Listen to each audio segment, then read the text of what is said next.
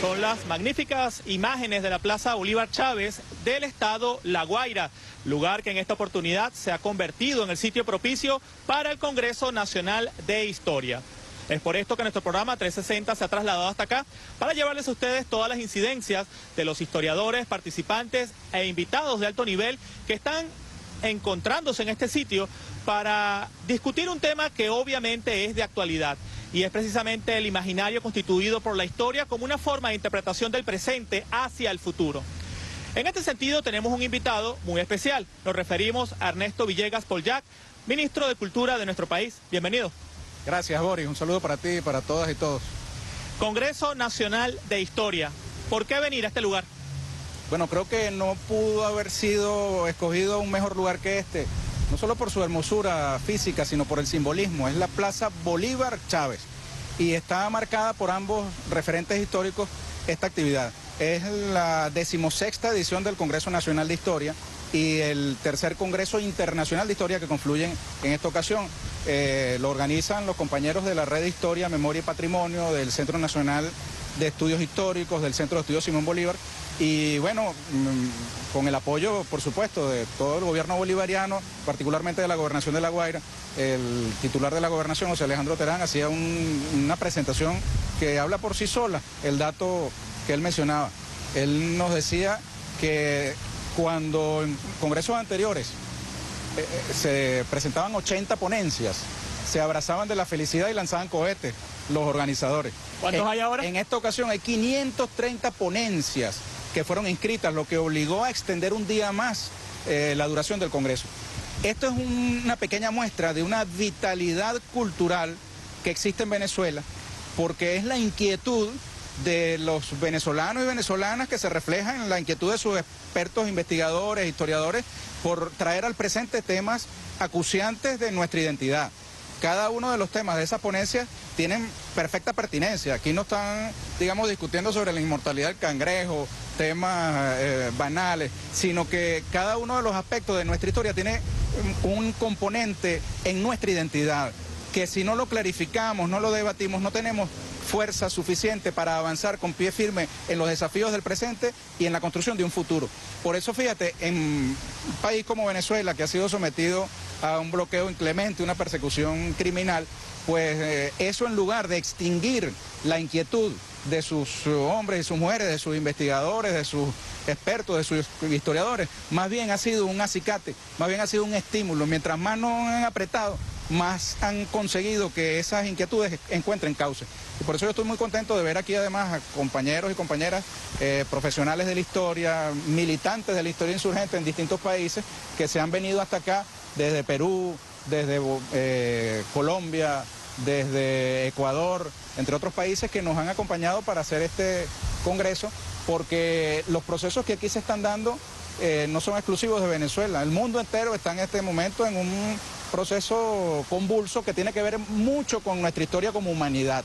Eh, es el fracaso, este momento histórico que vivimos, de esa visión que eh, eh, llama solamente a mirar al futuro sin, sin observar el presente y mucho menos el pasado, ¿no? Ese borrón y cuenta nueva que pedía Barack Obama, que realmente lo, lo levantan como bandera quienes pretenden más bien prolongar los lazos de explotación, de dominación, de hegemonía, de vasallaje, de colonización, las nuevas formas de colonización que este fenómeno adquiere eh, en nuestro tiempo tienen mucho que ver con la desmemoria, con la negación de la historia en su diversidad. Yo te invito a que a lo largo de esta jornada, Boris, tú como eh, periodista acucioso que eres, pues aproveches la oportunidad de conversar con estos eh, historiadores de distintas latitudes, de distintas partes de Venezuela, de distintas partes del continente, que traen una visión muy crítica respecto de esas formas de dominación que nos han traído hasta el presente a las convulsiones del mundo que eh, nos toca a nuestras generaciones vivir. Obviamente la ciencia histórica se aboca a descubrir, analizar lo que son los eventos del pasado. Pero como usted mismo lo ha dicho, ustedes han lanzado una bandera que es la historia viva, la historia crítica, la historia analítica. Y han lanzado también una línea transversal en este evento que es la descolonización de la memoria. ¿Por qué es importante esto? Bueno, tú sabes que la historia la escriben los vencedores. y conocemos cómo se llama el hombre que desde el barco mirando a la costa gritó tierra, Rodrigo de Triana, ¿verdad? Pero no sabemos ni cómo se llamaba el aborigen que desde la tierra mirando al mar gritó barco en lengua aborigen. Esa parte de la historia no la conocemos y más bien no es que no la conocemos, que nos han vendido una, un relato de esa historia que lo que hace es prolongar las relaciones de dominación. Lo mismo con nuestros abuelos esclavizados del África, ¿no? que mm, prácticamente tenemos un velo de desconocimiento respecto de sus aportes, de sus realidades antes de la condición de esclavitud a la que fueron sometidos. De modo, la propia lucha por la independencia, las características de ese movimiento revolucionario independentista que tomó estas tierras eh, a la cabeza, con, la, con Bolívar a la cabeza, pues también tuvo ese tamiz que pretendió convertir a Bolívar en algo lejano, de guantes blancos, en una estatua de bronce, de mármol. Chávez tuvo la virtud de traerlo al presente, de traerlo como un ser humano. Y hoy, por ejemplo, estamos en vísperas de conmemorar los 200 años de la batalla de Bomboná, liderada por el libertador Simón Bolívar en suelo actualmente eh, de la República de Colombia. Entonces, en formación también la Colombia, la grande, la que Bolívar eh, impulsó. De modo pues que conocer esos aspectos, desentrañar los misterios que la historia esconde, nos ayuda a reconciliarnos con lo que somos, con mayor fortaleza y con potencialidades para construir un camino verdaderamente independiente para el futuro, que es lo que importa. Usualmente uno habla de eventos históricos que ocurrieron hace 100, 200 o 300 años y que quizás por razones lógicas uno no pudo presenciar. Pero ha ocurrido la coincidencia de que este Congreso Nacional de Historia ocurre precisamente en el mes en el cual se están recordando los 20 años del Abril Rebelde, un evento histórico del cual su persona y mi persona fuimos testigos y en buena medida participantes. ¿Cuál es su reflexión a propósito de esta fecha que cruza lo que es este Congreso? Bueno, tú sabes, eh, Boris, que eh, así como Venezuela entró tarde al siglo XX por causa de la dictadura de Gómez, que retrasó mucho el proceso modernizador de su tiempo, pues así como entró tarde al siglo XX, entró temprano al siglo XXI, como decía el comandante Chávez, porque todo este proceso de insurgencia que hubo el 27 de febrero contra el paquete neoliberal, contra el capitalismo neoliberal, fue pionero en el mundo. Eh, nosotros vivimos antes que otros pueblos lo que después esos pueblos vivirían. En Seattle, en, Francia con los chalecos amarillos, en Chile con la rebelión eh, reciente. Nosotros la vivimos temprano en el siglo XX y la revolución bolivariana llegó temprano, fue la primera revolución del siglo XXI. Y ese, esa realidad eh, es muy importante comprenderla porque hoy día nosotros vemos los acontecimientos mundiales y con la experiencia que traemos nos parece mucho más comprensible las cosas, por ejemplo el comportamiento de los medios. Hay mucha gente abrumada por lo que están haciendo hoy día las grandes corporaciones mediáticas. Nosotros ya lo vivimos y gracias al pueblo venezolano, a la Unión Cívico-Militar, al liderazgo del comandante Chávez, nosotros tuvimos un 13 de abril. ¿Usted no cree que Venezuela se encuentra a la vanguardia? Y lo voy a hacer citando un ejemplo clásico. Estaba comenzando la revolución bolivariana y una serie de activistas sociales enardecidos tumbaron la estatua de Cristóbal Colón. Y fue una escala de horror en los medios a nivel internacional de cómo Venezuela tumbaba la estatua de Cristóbal Colón y toda esta historia. Pero luego pasaron 15 y 20 años y lo que pasó en Venezuela como una forma anecdótica ahora se ha replicado en todo el mundo, en Estados Unidos, en Francia, en Colombia, en Perú, en Argentina. El derribamiento de estatuas que representan esa historia de los vencedores que muchas veces no es aceptada por los pueblos. ¿Cree usted que a nivel de lo que es la interpretación histórica Venezuela está a la vanguardia? Sí, cómo no, aquí hay un movimiento de historiadores, yo no soy historiador, yo soy periodista como tú, pero hay un movimiento de historiadores que levantan la bandera de la historia insurgente. Y te aseguro que esa lectura cuestionadora, descolonizadora eh, de nuestra historia eh, tiene en Venezuela un epicentro y, sus consecuencias se sienten en el planeta entero. Por eso la demonización de Venezuela, por eso todos los intentos por estrangular a Venezuela, porque es un mal ejemplo, entre comillas, frente a las luchas de otros pueblos. Y te voy a poner, eh, hacer una alegoría con respecto a lo que está sucediendo en Europa en este momento. Nosotros desde aquí tenemos que expresar nuestra solidaridad con los pobres pueblos europeos. ¿Por qué? Porque son pueblos que no tienen política exterior independiente. Nosotros por nuestras luchas, por la resistencia heroica de nuestro pueblo, podemos sostener una política exterior independiente que nos permite dialogar con quien sea, con el diablo si es preciso. Pero esos pobres pueblos europeos que antes, eh, digamos, eh, eran eh, ciudadanos de potencias que nos colonizaban, ahora son colonizados por una de sus antiguas colonias que les impone una, una, política exterior determinada contra los intereses de esos mismos pueblos. Por eso nosotros tenemos que solidarizarnos con esos pueblos y tenemos la capacidad de hacerlo porque hemos tenido esa experiencia. Te decía que sin el 13 de abril habríamos perdido la batalla del relato. El relato histórico lo ganó el pueblo venezolano con el 13 de abril. Si se hubiesen salido con la suya los golpistas del 11, pues el relato que hubieran ganado es el de ellos y entonces habría sido la negación, la clausura, la exclusión de todo el pueblo que ha venido protagonizando estos eh, hechos históricos durante todos estos tiempos y que estoy seguro ahora va a mm, coronar los frutos de esa resistencia, los frutos de esas batallas históricas que le ha tocado librar. Eh, ministro, yo estoy viendo que lo están llamando porque, aunque la gente no lo sabe, usted está escapado de una de las ponencias que en este momento se está desarrollando en el Congreso Nacional de Historia, pero... Contra mi voluntad, porque... contra su voluntad. No, bueno, de verdad agradezco la deferencia que ha tenido con nosotros. Pero si yo le preguntara a usted, ¿cómo cree usted que va a concluir esta historia de la revolución bolivariana? ¿Qué se atrevería usted a vaticinar? La victoria de nuestros pueblos. Los pueblos, como decía Miguel Acosta Sainz, siempre luchan. El 11 de abril Mucha gente se sintió consternada, paralizada, derrotada incluso. El 12 de abril, cuando salieron a disolver los poderes públicos y Chávez supuestamente había renunciado y lo tenían preso y tal, mucha gente de pronto se sintió abatida.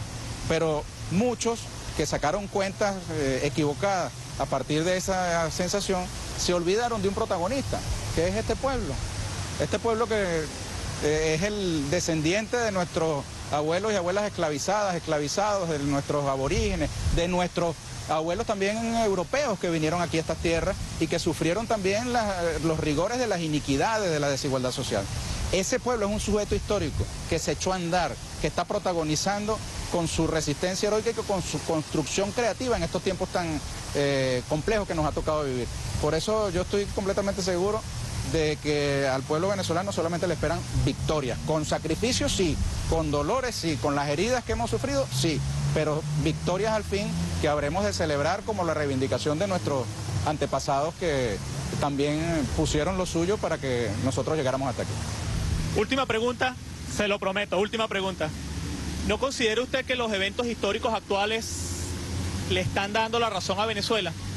Porque hubo un momento reciente de nuestra historia en las que muchos criticaban a Venezuela de por qué están en revolución, por qué hacen lo que hacen, a pesar de que la están pasando tan mal, por qué Nicolás Maduro dice lo que dice, pero si uno analiza lo que está ocurriendo recientemente, Estados Unidos viniendo a solicitar un canal de comunicación con Venezuela, el resto de los países europeos metidos en este problemón que se metieron en Europa por su vasallaje a, a Estados Unidos pareciera que no era tan así, no era tan equivocados que estábamos nosotros. Mira, en estos días estaba chateando con Jorge Recio. Jorge Recio, el fotógrafo herido de bala el, 11 de abril, uno de ellos, ¿no? Eh, que yo después entrevisté. Pero él me manifestaba esto por un chat, su preocupación porque el, el belicismo de los medios de comunicación en Europa tiene un efecto y hay muchas eh, franjas de las sociedades europeas que están ganadas a una determinada visión hegemónica de estos medios. Y él me manifestaba su preocupación. Y yo le decía, bueno, están viviendo su 11. Y él me decía, la pregunta es si habrá un 13. Y yo estoy seguro de que ellos también tendrán su 13. Los pueblos tendrán su 13. Porque se ha venido abajo, por ejemplo, eh, eh, toda esa justificación de, de la industria de la comunicación que postulaba ciertas características para el periodismo. Y que resulta que a la hora del té, a la hora de la chiquita, los manuales de estilo de esos grandes medios, de esas grandes corporaciones, las tiran al cesto de la basura y se convierten en grandes maquinarias de creación de emociones colectivas. No están informando, sino creando indignación. Eso lo vivimos nosotros el 11 de abril del año 2002, una cantidad de medios cartelizados que no les interesaba la verdad, sino la creación de una indignación nacional que justificara un plan golpista. Por eso cuando se concreta el plan golpista de Carmona, muchos, incluso opositores, que marcharon incluso contra Chávez, se declararon utilizados porque ellos no habían marchado para eso. Y eso es lo que hacen los poderes fácticos en las sociedades que manipulan la indignación, la sensación, las emociones del público consumidor de información y montan planes. Aquí, por ejemplo, cuando la quema de la ayuda humanitaria, ¿te acuerdas? Que pretendieron endilgársela a la batalla de los puentes. Eh, se veía claramente que el fuego había venido del lado colombiano, pero los medios mantuvieron el relato de que había sido Nicolás Maduro quien quemó la ayuda humanitaria porque querían crear una conmoción alrededor del tema que justificara un plan eh, de derrocamiento del gobierno. Cuando no se dio, salió el New York Times a decir, caramba, hemos investigado y si es verdad, la cosa la quemaron desde Colombia. Ya sabemos cómo se comportan. El que es picado de culebra cuando ve un bejuco brinca. Y nosotros vemos el comportamiento mediático transnacional y, sabemos que eso ya lo vivimos aquí y no nos pueden caer a coba. Bien, ustedes lo escucharon, Ernesto Villegas, que muy amablemente ha respondido nuestras preguntas en el marco del Congreso Nacional de Historia, que el día de hoy está comenzando en el estado de La Guaira. Ya se puede ir, ministro, porque ya el equipo de protocolo está corriendo para llevárselo otra vez a una de Gracias, Boris. Vamos a ir a una pausa. Vamos a ir a una pausa en nuestro programa 360, pero al retorno vamos a continuar entrevistando a los invitados internacionales que están presentes en este Congreso Nacional de La Guaira. Ya venimos. La Guaira.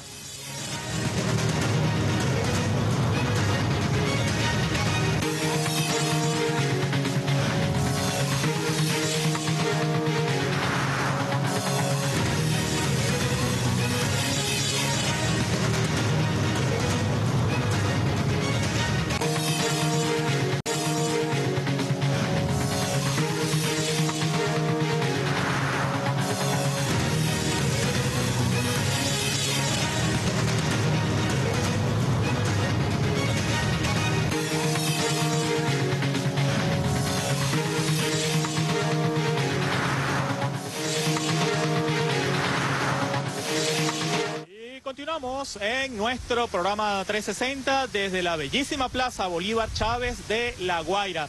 Un sitio que a esta hora ya refresca mucho el viento marino y se puede apreciar lo que es esta belleza que tenemos a nuestras espaldas, lo que son las banderas, lo que es el mar y lo que es este bonito espacio rescatado por la revolución bolivariana y mantenido, por supuesto, por los líderes revolucionarios de esta zona de nuestro país. Eh, a continuación vamos a tener una invitada muy especial en esta parte de nuestro programa 360.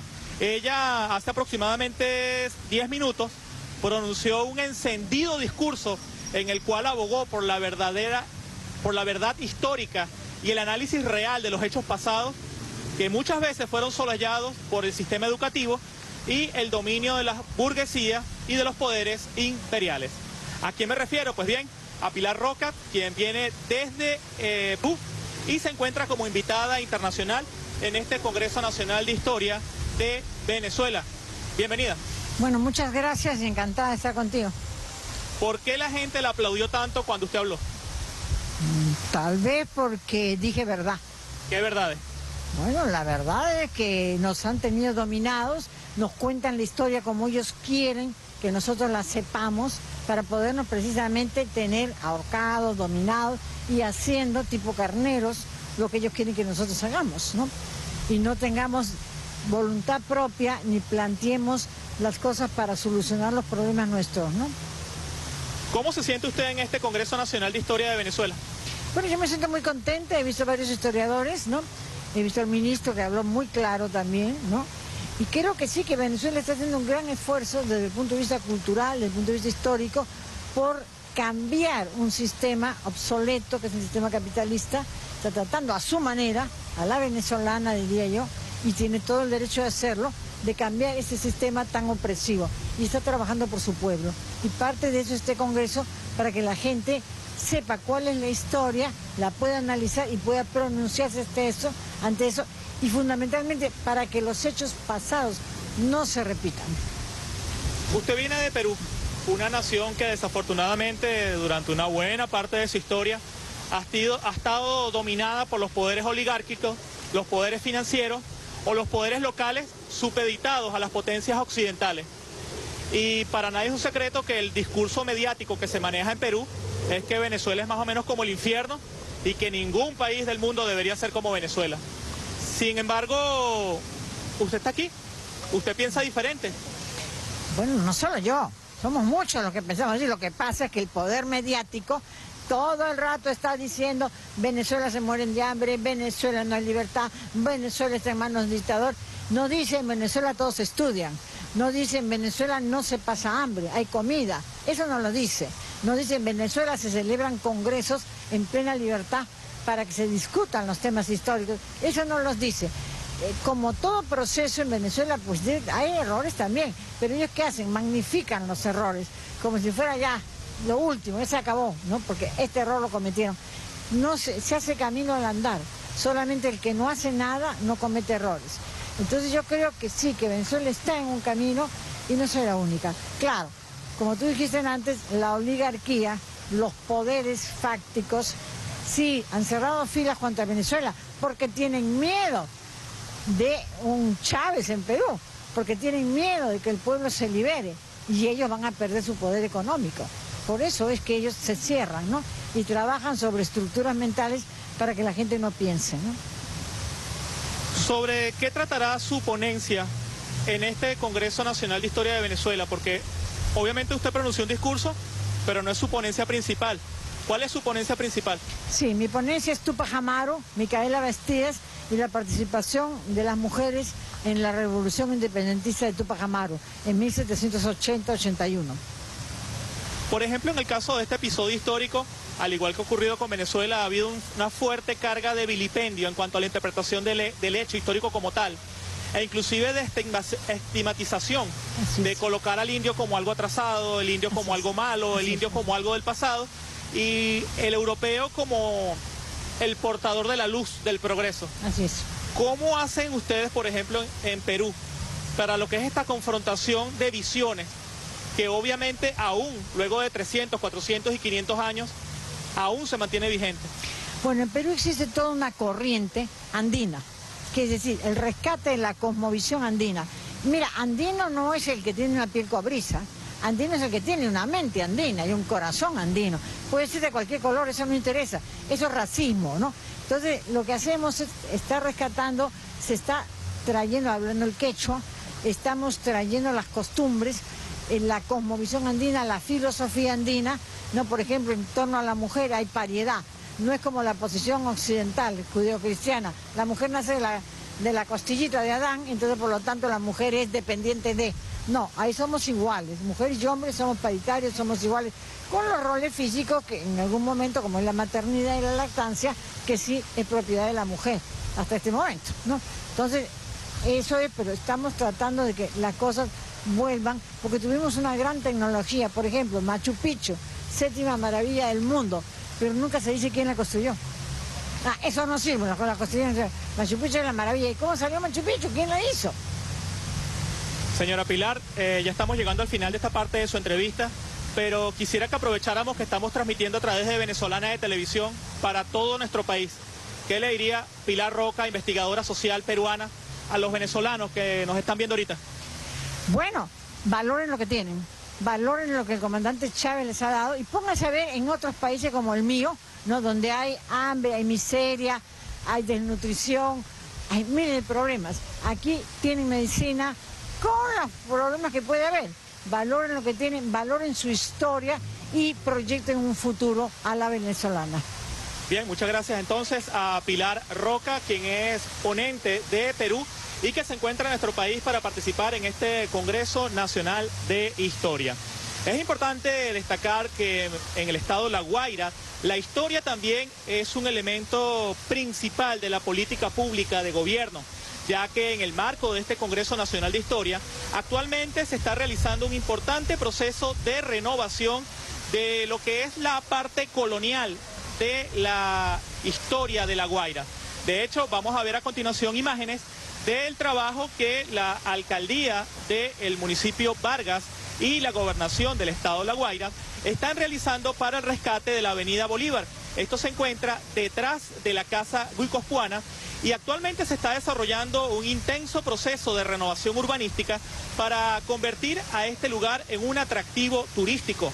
De hecho, este proyecto que está valorado en varios millones, miles de millones de bolívares, tiene por objeto recrear lo que era la Guaira colonial y ofrecer al turista un acercamiento a esa historia que muchas veces ha quedado solapada en los libros de historia. la reconstrucción del casco histórico de La Guaira. Es un proyecto que estará finalizado en este año 2022 y que permitirá de forma grata y amena para los visitantes del litoral central no solamente disfrutar de las playas de esta bonita entidad, sino también de su historia. Y a, propósito de este proceso de renovación histórica de la zona colonial de La Guaira, el equipo de 360, encabezado por nuestra compañera Kenia Ferrer, tuvo la oportunidad de atestiguar y de ver directamente el proceso de renovación que se está haciendo. De hecho, nuestra compañera Kenia Ferrer se metió dentro de una de las edificaciones históricas que tiene más de 300 años de antigüedad y pudo hablar con los ingenieros, quienes le ofrecieron una declaración exclusiva para 360 de cómo se está haciendo el proceso de renovación histórica del casco de La Guaira. Veamos. Ah, muchas gracias, bienvenidos ustedes también a esta preciosa obra de restauración del casco histórico. Gracias, Eduardo. Coméntanos, ¿cómo, ¿de qué manera van a preservar eh, la parte histórica de esta obra? Bueno, precisamente aquí, aquí nos encontramos en un terreno que anteriormente se llamaba El Vivero.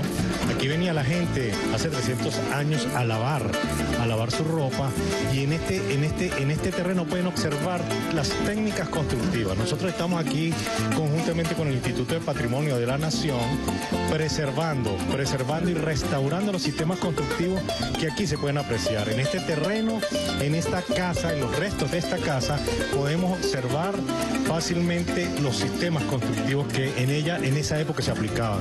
Había mucha piedra, las paredes eran portantes, paredes de 60 centímetros de espesor, imagínense.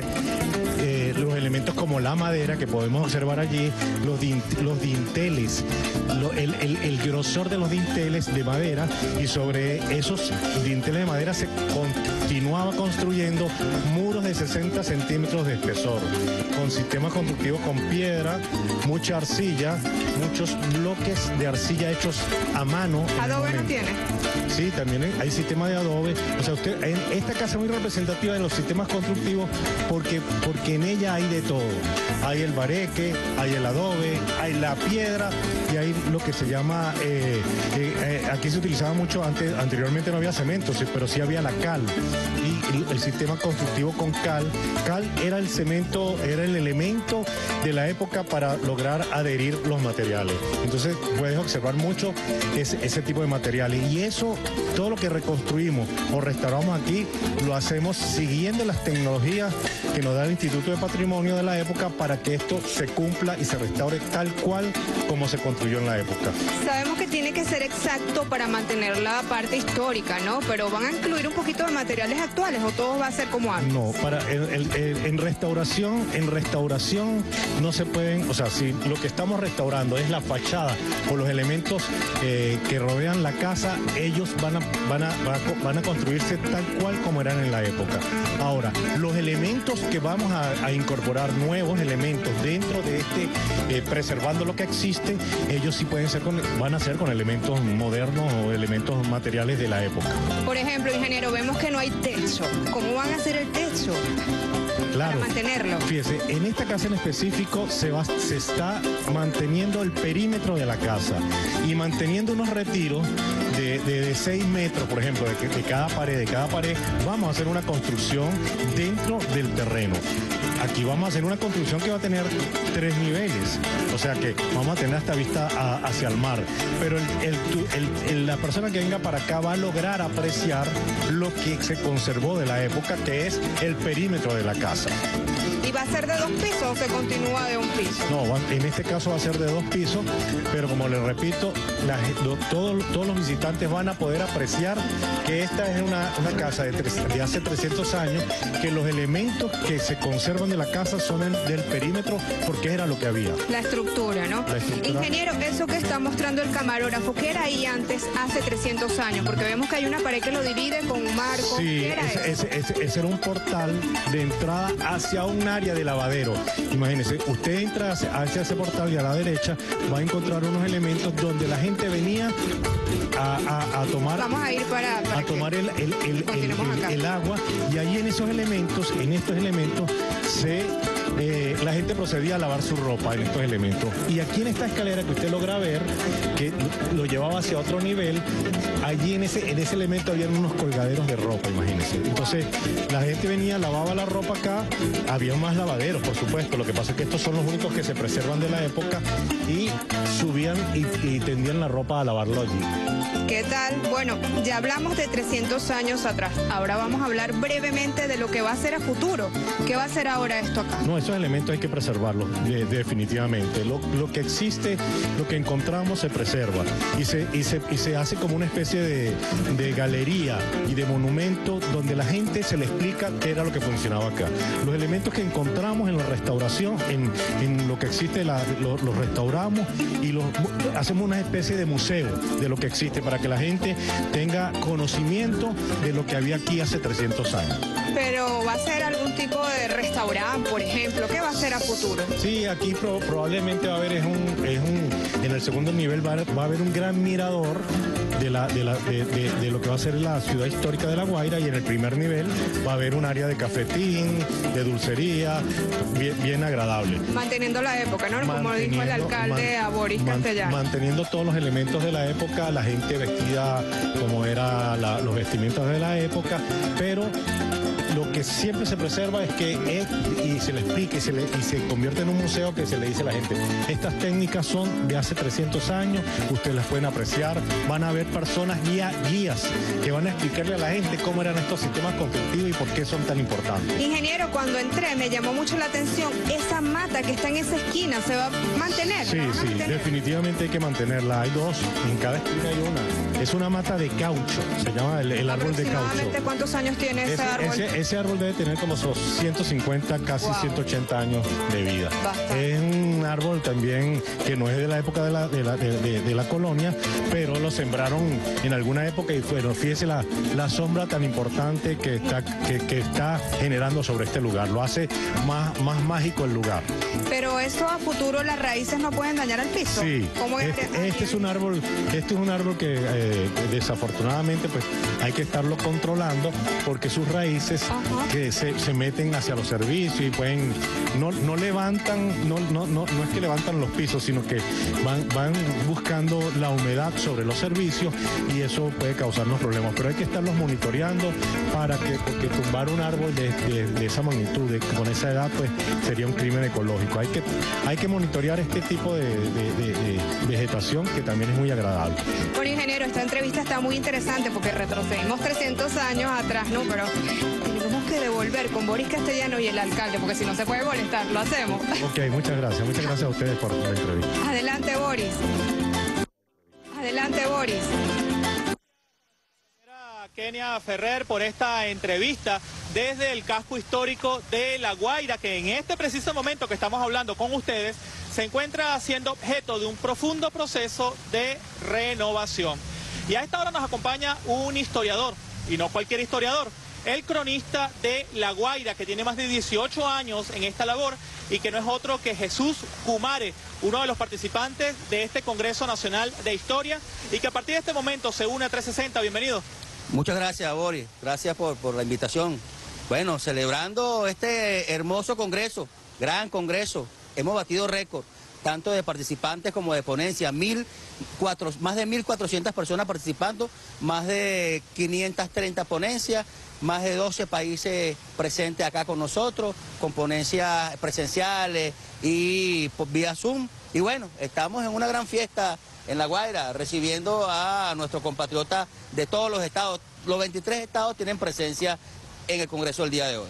Hay algo que me ha llamado mucho la atención de este Congreso y es que usualmente como es un Congreso de Historia uno tiende a imaginarse de que son eruditos, de que son académicos, de que son personas muy acicaladas pero me ha llamado la atención de que en lo que va de las primeras dos horas de este Congreso hemos escuchado unos discursos incendiarios, apasionados, muy políticamente motivados sobre el tema de lo que es la necesidad de la conciencia histórica y del asumir la historia no como algo del pasado, sino como un hecho vivo. Háblenos un poco de ese espíritu que estamos percibiendo en el arranque de este Congreso. Claro, Boris, no solamente eso. Eh, hemos hemos establecido que el Congreso de La Guaira no sea un Congreso solo para historiadores, Por lo tanto, tenemos un programa que se llama El Pueblo Cuenta su Historia, donde los gobiernos comunitarios tienen una participación importante, no sometidas a la frialdad de la ponencia, sino un poco más ligera, donde gente común y corriente, sobre todo adultos y adultas mayores, puedan eh, contar experiencias sobre historias locales, sobre experiencias de vida, que no sea un congreso solo para eruditos, como tú dices, para historiadores, sino que el pueblo pueda participar. Y por supuesto la pasión que nos, que nos, que nos llama el hecho de que el Congreso esté enmarcado en los 30 en los 30 años de aquel 4 de febrero y en los 20 años de aquel 11, 12 y 13 de abril. Este, que bueno, que lo estamos conmemorando, que nos llena de pasión, de pasión patria. Y por supuesto eso nos permite eh, tener una, una, una, una posición bien clara ante el país y por supuesto eso hace pues que nuestra posición sea bien, bien, bien fuerte y bien, como tú dices, incendiaria. Hemos visto en estos años de la revolución un proceso que se ha denominado la descolonización de la memoria, que en el caso de la revolución ha ido un poco más allá y ha ido a la descolonización de los nombres. Por ejemplo, ya no tenemos el Parque Nacional El Ávila, sino el Parque Nacional Guaraira Repano. Ya no tenemos la autopista Francisco Fajardo, sino la autopista Gran Cacique Indio Guaycaipuro. Y yo hago esta mención porque quizás la gente no lo sabe, pero cuando en el Estado Vargas surgió la iniciativa de que se llamara Estado La Guaira, usted junto al general Jorge Luis García Carneiro fue uno de los promotores del cambio del nombre. ¿Por qué? ¿Qué significa La Guaira? ¿Cuál es su etimología, su raíz histórica? Bueno, el proceso va mucho más allá. Desde hace más de 15 años hemos estado proponiendo el, cambio de nombre eh, de esta entidad. Inclusive hacia el año 86 cuando se creó el municipio Vargas, estuvimos proponiendo allí que por lo menos se debatiera el nombre del municipio. Este, nosotros estamos en un proceso de transformación de la nominación de nuestras comunidades que vaya más en consonancia con nuestra identidad. Por eso hemos estado no solamente en nombre del Estado, sino muchas comunidades a las cuales hemos transformado su nominación. Pensamos que lo del Estado de La Guardia tiene que ver más con nuestra identidad, ¿ok? Este, entendemos que hasta el propio epónimo, José María Vargas, era un gran guaireño, un guaireño de pura cepa. Y nosotros pensamos, y bueno, y así lo pusimos en el debate, así el pueblo lo entendió, que nuestros elementos identitarios deben eh, estar por encima de cualquier cosa. Es lo que nos identifica, es lo que nos hace que seamos cada día más y mejores venezolanos. El ser siempre guaireños y guaireñas. Señor Jesús, última pregunta. Estamos en vivo a nivel nacional para todo el país. Desde Zulia hasta Sucre, todo el mundo nos está viendo en horario estelar en 360. ¿Qué le diría usted al país que nos está viendo? Es necesario conocer nuestro pasado para poder comprender nuestro presente y construir un mejor futuro.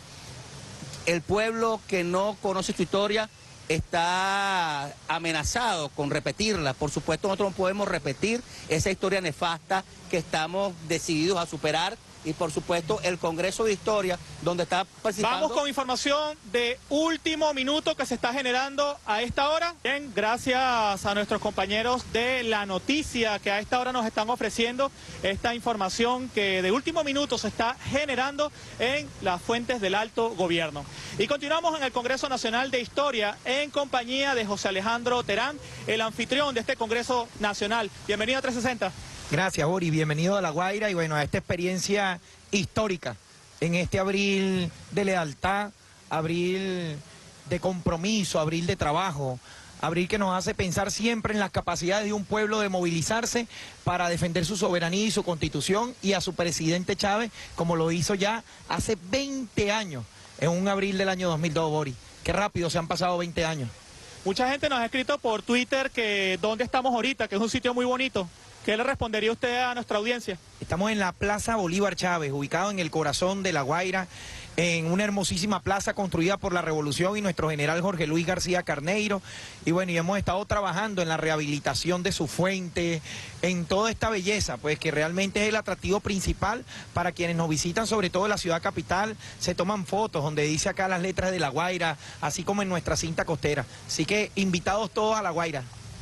¿Por qué La Guaira fue seleccionada como sede para este Congreso Nacional? Yo creo que tiene que ver también con un elemento de reivindicación histórica porque La Guaira ha sido invisibilizada por la historia cuarta republicana. Cuando uno hace análisis de la historia, uno ve que se limita apenas a un cuarto de página en los libros de historia de Venezuela.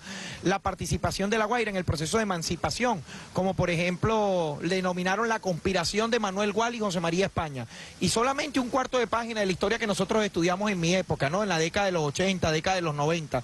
Ha sido la revolución bolivariana quien ha reivindicado sobre todo los aportes que se hicieron de este territorio principal puerto de entrada del país, por donde ingresaron pues las ideas, los principales libros, por donde llegó precisamente Picornel y que estuvo aquí privado de libertad en el exilio luego de la revolución de San Blas y que se encontró con José María España. En estos caminos acá del mal llamado Camino de los Españoles se encontraban Simón Rodríguez, José María España, Manuel Gual, a construir lo que sería la emancipación de nuestra América.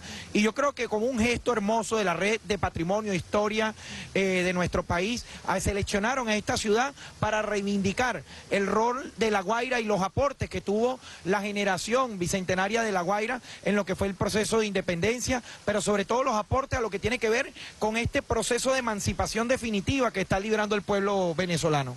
Gobernador, un poco más temprano en nuestro programa 360 del día de hoy, hicimos un pase con Kenia Ferrer al casco colonial de La Guaira, el cual pudimos ver con nuestras cámaras está viviendo un profundo proceso de renovación. Háblenos un poco de esto. Sí, eso es un sueño que hemos tenido los guaireños y las guaireñas y creo que este Congreso de Historia ha servido como catalizador para acelerar un conjunto de acciones que venimos emprendiendo en conjunto, tanto la alcaldía de nuestro municipio, el alcalde Suárez Maldonado, con la gobernación y el apoyo de nuestro presidente Nicolás Maduro fundamentalmente para la rehabilitación de lo que es en una primera etapa la calle Bolívar de La Guaira y es una rehabilitación integral de las viviendas que se encuentran en torno a la calle Bolívar de La Guaira, la protección de nuestro patrimonio, mucho del cual todavía se encontraba afectado después de la tragedia de 1999 y que hemos hecho un trabajo profundo ahorita con el apoyo de Bolipuerto también en todo lo que es el sistema de drenaje de todo este 5 kilómetros de vialidad para poder garantizar así una reconstrucción verdadera del centro histórico de nuestra ciudad de La Guaira. Y bueno, una vez que culminemos con la calle Bolívar, que ya estamos finalizándola, extendernos a todo este pueblo de La Guaira y a sus símbolos, como lo es ese que vemos allá enfrente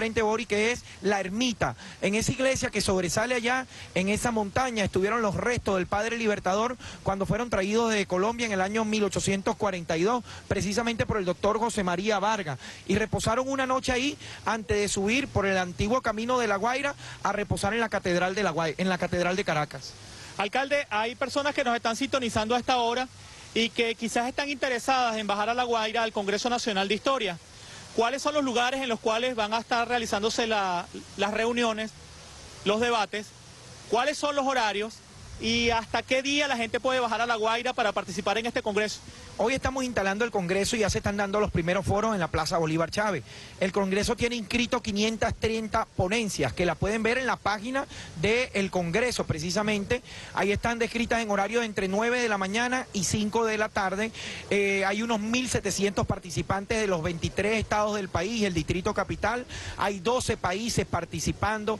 Importante destacar, Bori, que tenemos un escenario denominado El Pueblo Cuenta Su Historia, donde las propias comunidades y las redes cronistas comunales vienen a contar lo que es incluso su historia reciente, como esa que te comentaba de hace 20 años, de la perspectiva de cómo vivieron las comunidades los sucesos de abril del año 2002 o los sucesos de febrero del año 1992, cuando se dio la insurgencia de la rebelión cívico-militar liderada por el comandante Chávez. Asimismo tenemos ponencias también de nuestros estudiantes que han participado en precongresos de historia y que han sido seleccionadas las mejores ponencias para poder ser presentadas. Este congreso se inicia hoy hasta el próximo viernes 8 de abril. ¿En qué lugares? Se van a realizar en toda la ciudad histórica de La Guaira, donde está la Casa Guipuzcoana y sus alrededores, en toda la calle Bolívar.